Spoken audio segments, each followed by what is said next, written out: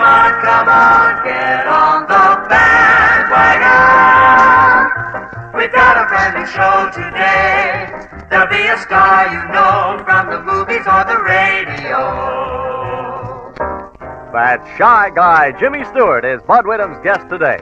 We're very privileged to uh, have with us in the Celebrity Lounge today a gentleman from Hollywood who usually uh, visits this uh, routine by magic lantern.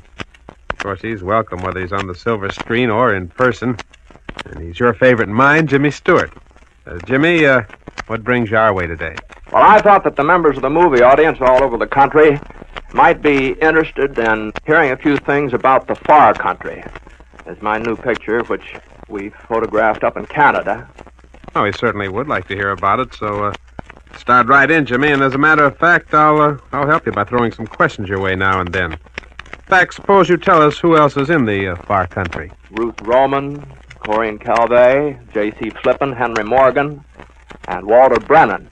Well, that's certainly a real interesting cast, and uh, one which can only mean good for us moviegoers. Tell me, Jimmy, was it uh, real rough shooting up in Canada, away from the comforts of a Hollywood soundstage?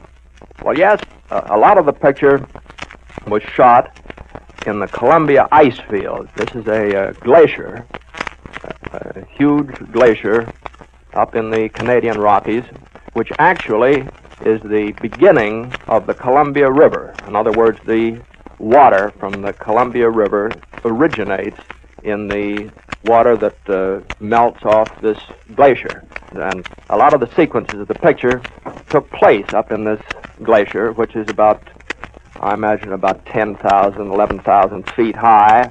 Sort of sounds like uh, slippery work, Jimmy. Well, of course, uh, it's sort of like doing a, a whole picture on a skating rink. it wasn't quite as slick as the skating rink is, but after all, the glacier is made of ice. So uh, all of us had to wear a sort of a rubber shoe with spikes in it, sort of like golf spikes. We had to bring horses up over the glacier, and uh, the horses were rigged out with corks, which were put into their a certain type of shoe that they had to be uh, shod with, and then the corks were put in so that the horses could keep their feet. In our case, the rubber shoes sort of kept out the damp. I see. I imagine you had some uh, real rough weather up in Canada, Jimmy. Am I uh, correct? Yeah, we really had a scare one day. This Swiss guide we had, Bruno Engler was his name. Wonderful fella, and just was invaluable to us all during the eight or ten weeks we were up there. He'd been loaned to the company from the provincial government of Alberta. And uh, it just happened on this one day we were shooting, he'd warned everybody that an avalanche would occur at 3 p.m.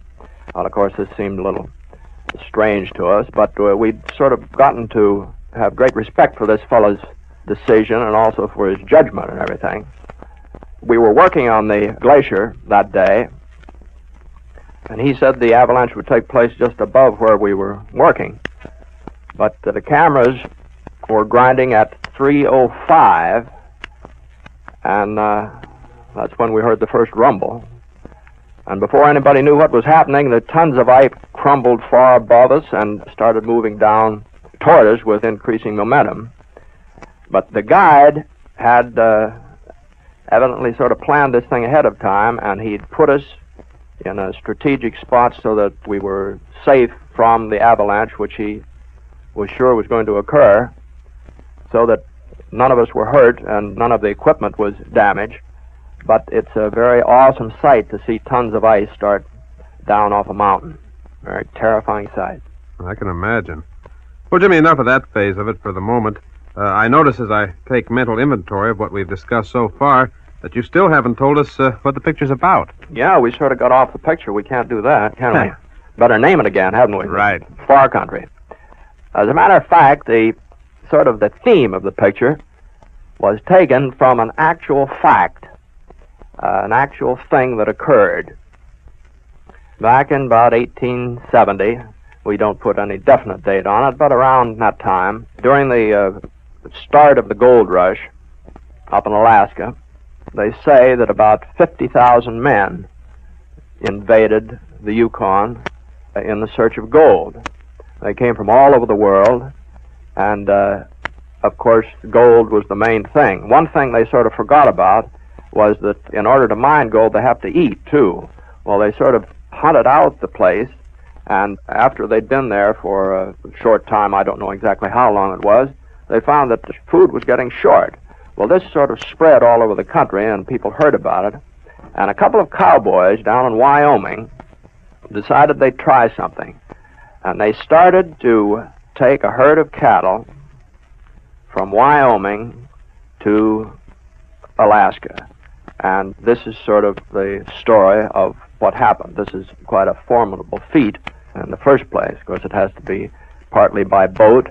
And of course, if you know anything about cowboys, a cowboy and a ocean-going boat don't make much sense together. Well, they uh, sort of mix like oil and water. But I'm sure in this case there'll be ingredients for some very fine entertainment.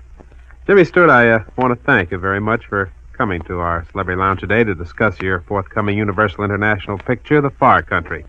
Before we uh, say goodbye, uh, tell me one more thing. I suspect it's in Technicolor. Uh, In am I right? Technicolor widescreen.